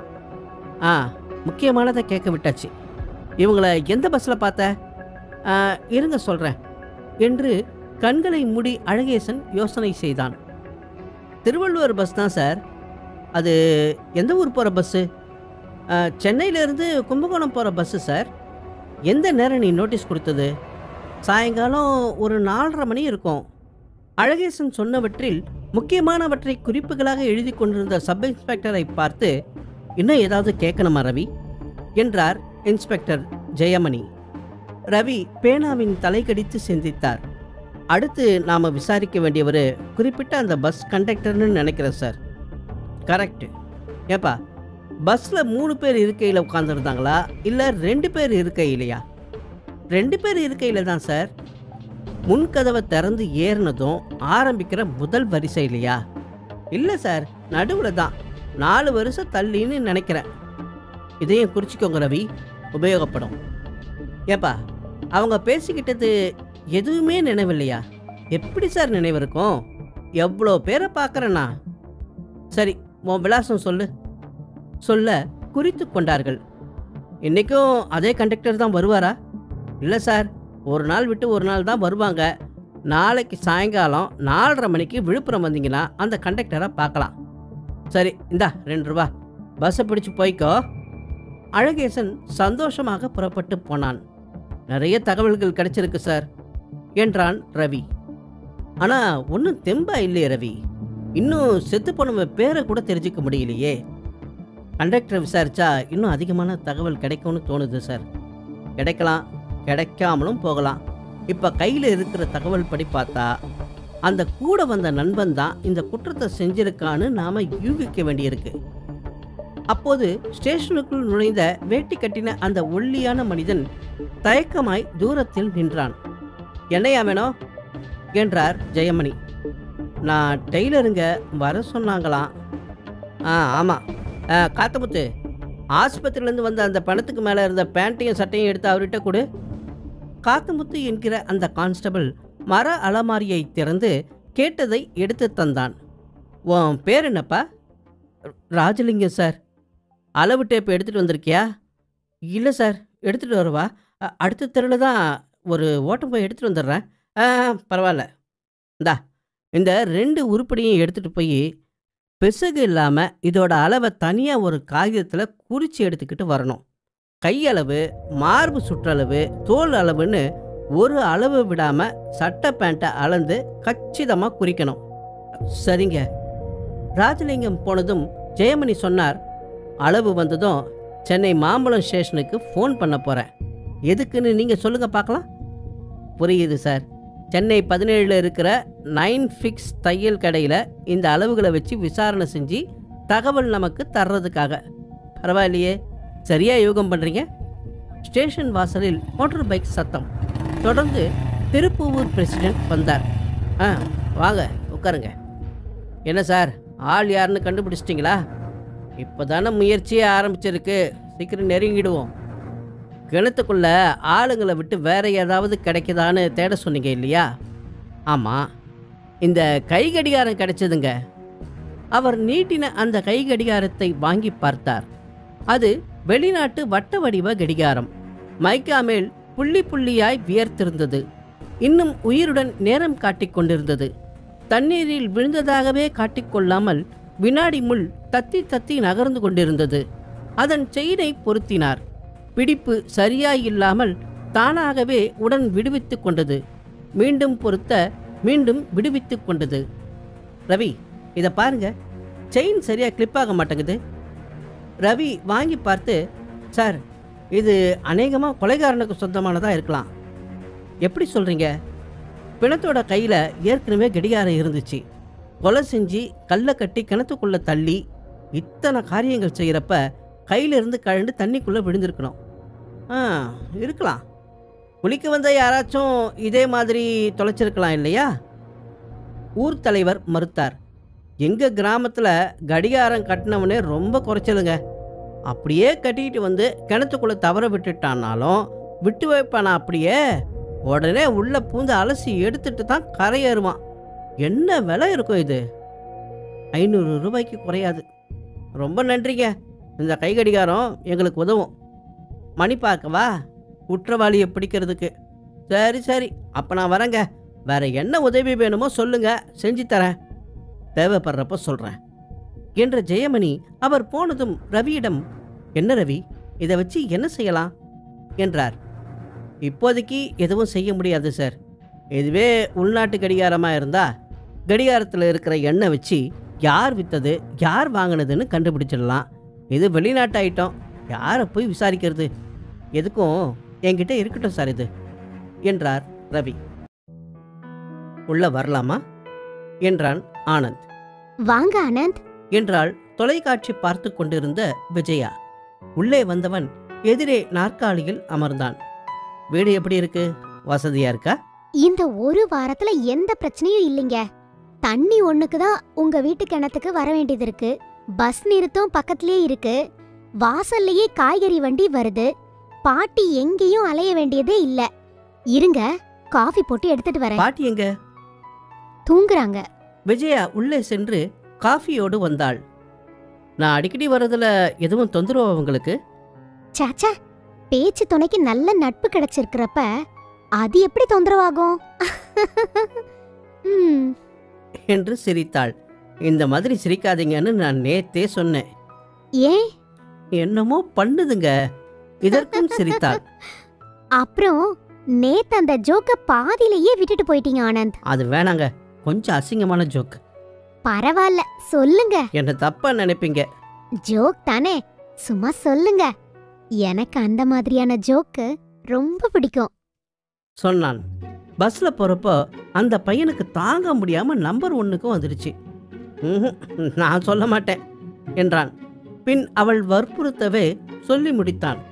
மிக ரசித்து வயிற்றை பிடித்து கொண்டு கண்களில் நீர் முட்ட சிரித்தாள். அந்த சிரிப்பு தினம் தொடர்ந்தது. அந்த சந்திப்பு தினம் நிகழ்ந்தது. அந்த நெருக்கம் தினம் வளர்ந்தது. அந்த இடைவெளி தினம் குறைந்தது. ஆனந்த் உங்க நகைச்சுவை உணர்வு எனக்கு ரொம்ப பிடிக்குது. ஆனந்த் உங்க பேச்சு எனக்கு பிடிக்குது. ஆனந்த் உங்க சந்திப்பு எனக்கு பிடிக்குது. ஆனந்த் உங்க மனசு எனக்கு பிடிக்குது. ஆனந்த் உங்களை பிடிக்குது. என்றாள். கடற்கரையில் அலைகள் சதா கூச்சலிட கரையில் அவர்கள் நெருக்கமாக அமர்ந்திருந்தனர். அப்புறம் என்றான் ஆனந்த். அப்புறம் என்ன? என்றாள் விஜயா. நீ தான் சொல்லணும். என் பக்கத்தில் எந்த பிரச்சனையும் கிடையாது. எங்க அப்பா நிச்சயமா சம்மதிக்க மாட்டார் ஆனந்த் அப்போ காதலை கலைச்சிடலாமா? அவர் சம்மதத்தோட கல்யாணம் பண்ணிக்கிறது கஷ்டம்னு சொல்றேன் அப்போ விடு கல்யாணம் முடிச்சு ஆசீர்வாதம் வாங்குறதுக்கு அவர்கிட்ட போனால் போதும். யோசிக்கணும் ஆனந்த் என்ன இருக்கு யோசிக்க? உதறது ஆண்களுக்கு சுலபம். என்ன சொல்ற? என்னை வளர்த்து படிக்க வச்சு ஒரு நிலைக்கு உயர்த்தி இருக்கிற ஒரு அப்பாவை எப்படி உடனே உதற முடியும்? எனக்கும் அவருக்கும் பகை என்ன ஆனந்த்? நியாயம்தான்.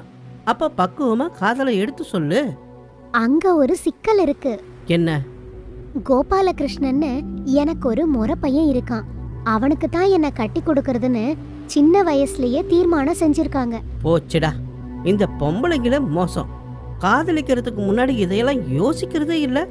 யோசிச்சு திட்டமிட்டு செய்யறதுக்கு காதல்னு பேர் இல்ல ஆனந்த். சரி இப்ப என்னதான் செய்யலாம்னு சொல்ற? அதான் எனக்கும் புரியல. இங்க பாரு. என்ன தாடி வளர்த்துக்கிட்டு பிராந்தி பாட்டில கையில எடுக்க வச்சிடாத. நான் அப்படி சொல்லல ஆனந்த். யோசிப்போம் ஒரு முடிவு கிடைக்கும். ஆனந்த் சுண்டல் வாங்கி அவளிடம் தந்தான். சரி நம்ம விஷயம் இன்னும் மணிக்கு தெரியாதா? தெரியாது. இது வரைக்கும் மறைச்சே வச்சிருக்கேன் ஒரு நாள் போட்டு உடைச்சிட போறேன். சீக்கிரமா சொல்லிடுங்க ஆனந்த். ஏன் விஜயா? நேத்து ஒரு கவிதை எழுதி நல்லா இருக்கா பாருங்கன்னு என்கிட்ட கொடுத்தாரு. ஒரு பெண்ணை ரொம்ப ஆத்மார்த்தமா வர்ணிச்சிருந்துச்சு அந்த கவிதையில. அதனால என்ன? அதனால என்னவா? அது மறைமுகமா என்ன வர்ணிச்ச மாதிரி தான் சேச்சே மணி அப்படி இல்ல விஜயா. அது எப்படி சொல்ல முடியும் ஆனந்த்? அவரா மனசுல எதையாவது வளர்த்துக்கிட்டு இருந்தா அது பிரச்சனை தானே. நான் அவர் கூடவும் இயல்பா சிரிச்சு நட்பா பழகுறேன். அத வேறு விதமா அவர் எடுத்துக்க கூடாது இல்லையா?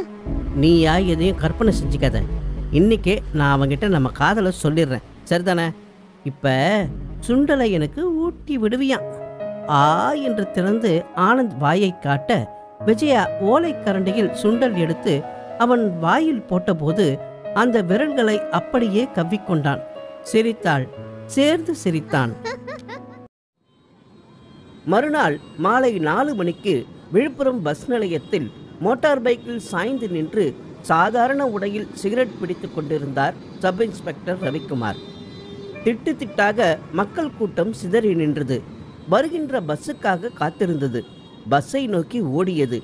பணம் ஏந்திய கைகள் கண்டக்டரை முகாமிட்டன. டயர் வண்டியில் கடலை வறுத்து கொண்டே படக்கதை படித்தான் அவன். சுவர் போஸ்டரை முகர்ந்து பார்த்தது அந்த கொம்புகள் இல்லாத மாடு. தாவணி பெண்கள் இருவர் மல்லிகைப்பூ மணக்க கடந்து போனார்கள். ரவிக்குமார் தேடி தேடி அழகேசனை கண்டுபிடித்தார். அழகேசன் திரும்பி பார்த்து ஓடி வந்தான். என்ன சார்? திருவள்ளுவர் பஸ்ஸுக்காக காத்துக்கிட்டு இருக்கேன் இன்னும் நேரமாகும் சார். நீ போய் லாட்டரி சீட்டு வித்துட்டு அந்த கும்பகோணம் போகிற பஸ் வந்ததும் என்கிட்ட வந்துடு உன்னையும் பக்கத்தில் வச்சுக்கிட்டு தான் விசாரிக்கணும். சரிங்க சார். அழகேசன் வந்து நின்ற பஸ்ஸுக்குள் பாய்ந்து ஏறி விற்பனையை தொடர ரவிக்குமார் பஸ் நிலையத்தின் வாசலை அடிக்கடி பார்த்து கொண்டு காத்திருந்தார். அருகே இருந்த பத்திரிகைகள் தொங்கின கடைக்குள் சென்று இரண்டு பத்திரிகைகளை புரட்டி பார்த்தார். அழகேசன் ஓடி வந்தான். சார் சார் திருவள்ளுவர் வந்துடுச்சு. வா போய் விசாரிக்கலாம். நின்ற வண்டியில் இருந்து பயணிகள் சிலர் இறங்க டிரைவர் அருகில் இருந்த டீ கடைக்கு நடக்க அந்த கண்டக்டர் கீழே இறங்குவதற்காக காத்திருந்தார் ரவி. வண்டி பத்து நிமிஷம் இங்கே நிற்கும் காஃபி சாப்பிட்றவங்க சாப்பிட்டுக்கலாம் என்று உள்பக்கமாய் சொல்லிவிட்டு இறங்கின கண்டக்டர் கருப்பாய் ஒல்லியாய் இருந்தான். ரவி அணுகினார். ஒரு நிமிஷம் உங்கள் பேர் என்ன? ராஜா தம்பி. ஏன் சார் நீங்கள் யார்? நான் போலீஸ் ஒரு விசாரணை நீங்கள் ஒத்துழைக்கணும் என்று விட்டு அழகேசன் பக்கம் திரும்பி இவர்தானப்பா? என்றார். ஆமாம் சார். ராஜா தம்பி முந்தா நாள் நீங்கள் தான் வண்டியில் வந்தீங்களா? ஆமாங்க. நேற்று நேற்று எனக்கு ஓய்வு. இந்த ஃபோட்டோவை பாருங்க. என்று பேண்ட் பாக்கெட்டில் இருந்து பிணத்தின் புகைப்படங்களை எடுத்து காட்டினார். என்ன இதுக்கு? இந்த ஆள் முந்தா நாள் தன் நண்பரோட இந்த வண்டியில் பயணம் செஞ்சுருக்கான். அவசரம் இல்லை. நல்லா யோசித்து சொல்லுங்கள் தினம் நிறைய பயணிகளை சந்திக்கிற உங்களுக்கு முகம் மறந்து போயிருக்கலாம். விசேஷமாக ஏதாச்சும் நிகழ்ந்திருந்தா நிச்சயம் நினைவில் இருக்கும். சொல்லுங்க. இவன் முந்தா நாள் பயணம் செய்தானா? செஞ்சிருக்கலாம் சார். நினைவில் இல்லை. முகமும் புகைப்படத்தில் அத்தனை தெளிவாக இல்லையே சார். ஒரு ராத்திரி முழுக்க பிணம் தண்ணிக்குள்ளே கிடந்திருக்கு. அதனால் முகம் உப்பி போய் கொஞ்சம் அடையாளம் மாறித்தான் இருக்குது இருங்க. இன்னொரு குறிப்பு கூட சொல்கிறேன் அழகேசன் என்னோட வா. ரவி பஸ்ஸுக்குள் ஏற அழகேசன் அவரை தொடர்ந்தான். கொஞ்சம் நினைவுபடுத்தி சொல்லு. இங்கேருந்து எத்தனாவது வரிசையில் அவங்க ரெண்டு பேரும் உட்காந்துருந்தாங்க அழகேசன் கொஞ்சம் நிதானித்து நிச்சயம் ரொம்ப பின்னாடியும் இல்லை ரொம்ப முன்னாடியும் இல்லை. நாலாவது இல்லை அஞ்சாவது வரிசை தான் என்றான். ராஜா தம்பி எனக்காக கொஞ்சம் நல்ல நினைவுபடுத்தி பாருங்க. நாலாவது இல்லை அஞ்சாவது வரிசை. ரெண்டு பேர் இருக்கையில் ரெண்டு பேர் வந்திருக்காங்க. கொஞ்சம் வயசு ரெண்டு பேரும் பேண்ட் போட்டவங்க. ஒருத்தன் இந்த ஃபோட்டோவில் இருக்கிறவன் இவன் தான் கொலை செய்யப்பட்டவன். அந்த இன்னொருத்தன் தான் இந்த காரியத்தை செஞ்சிருக்கணும். அந்த இன்னொருத்தன் வெள்ளரி பிஞ்சு சாப்பிட்டா இங்கே. ராஜா தம்பி பிரகாசமானான். வெள்ளரி பிஞ்சுன்னு தான் நினைவு வருது சார். எனக்கு கூட ஒரு பிஞ்சு கொடுத்தாரு சார். கரெக்டு ரெண்டு பேர் நண்பர்கள். சத்தமாக கிண்டலும் கேலியுமா பேசிக்கிட்டு ரகலை பண்ணிக்கிட்டே வந்தாங்க. சென்னையில் ஏறினதுலேருந்து பேசிக்கிட்டே தான் வந்தாங்க. ரவி இப்போது பிரகாசமானார். சென்னையில் ஏறினாங்களா? ஆமாம் வள்ளுவர் பஸ் ஸ்டாண்ட்லையா இல்லை சார் எக்மோரில் ஏறினாங்க. எந்த ஊருக்கு டிக்கெட் வாங்கினாங்க? பத்தி தொட்டி பத்தி தொட்டியா திருப்பூருக்கு முன்னாடி இருக்கு சார். திருப்பூருக்கு தான் டிக்கெட் கொடுத்தேன். அங்கே தான் வண்டி நிற்கும் ரொம்ப கேட்டுக்கிட்டதால பத்தி தொட்டியில் இறக்கி விட்டேன். நல்லா நினைவு இருக்கா? இருக்கு சார். அவங்க என்ன லக்கேஜ் வச்சுருந்தாங்க? ஆளுக்கு ஒரு பெட்டி தான் சார். வேற ஏதாச்சும் உங்ககிட்ட பேசுனாங்களா? இல்லை சார். பத்தி தொட்டியில் வந்து நின்னப்ப இவங்க ரெண்டு பேர் மட்டும்தான் இறங்குனாங்களா? ஆமாம் சார். இவங்களை வரவேற்க யாராச்சும் நின்றுட்டு இருந்தாங்களா? இல்லை சார். விலாசம் சொல்லுங்க என்று குறித்து கொண்டார். இந்த இறந்தவனோட கூட வந்த நண்பரை மறுபடி சந்திச்சா அடையாளம் கண்டுபிடிக்க முடியுமா? முடியும்னு நினைக்கிறேன். அவங்க ரெண்டு பேரும் பேசிக்கிட்டதுல ஏதாச்சும் கவனிச்சிங்களா? இல்லையே சார். சரி ரொம்ப நன்றி. நீங்க போங்க. என்று கூறிவிட்டு அழகேசன் நீயும் உன் வேலைக்கு போகலாம். என்ற ரவிக்குமார் ராஜே ராஜா தம்பி ஒரு நிமிஷம் என்றார். டீ கடை நோக்கி நடந்தவன் மறுபடி திரும்பி வந்தான். மறுபடி தொந்தரவு பண்றேன். இந்த வாட்சை பாருங்க. வாங்கி பார்த்தான். இந்த வாட்சை கூட வந்த நண்பன் கையில் பார்த்த நினைவு இருக்கா? அந்த ஆள் வாட்சே கட்டலை சார். எப்படி சொல்கிறீங்க வண்டியில் ஏறினதுமே மணி என்னன்னு என்னை கேட்டார். அவர் ஃப்ரெண்டுக்கிட்ட உன்னோட வாட்ச் பத்து நிமிஷம் மெதுவாக போகுதுன்னு சொன்னார். அப்புறம் அடிக்கடி நண்பனோட மணிக்கட்டை திருப்பி திருப்பி நேரம் பார்த்துக்கிட்டாரு. அது நல்லா நினைவு இருக்கு. இவர் கையில் வாட்ச் இல்லை. சரி போங்க என்றார். யோசித்தார். அப்படின்னா இந்த வாட்ச் இன்ஸ்பெக்டர் சொன்னதைப் போல குளிக்க வந்த வேற யாரோ தவற விட்டதோ? அனாவசியமா இதை அந்த கேஸில் இணைச்சி குழப்பிக்கிறோமோ? நிச்சயமா குற்றவாளி அந்த நண்பன் தான். நிச்சயமா ரெண்டு பேருக்கும் சென்னை தான் ஊர். இல்லை வேலை பார்க்குற ஊராக இருக்கலாம்.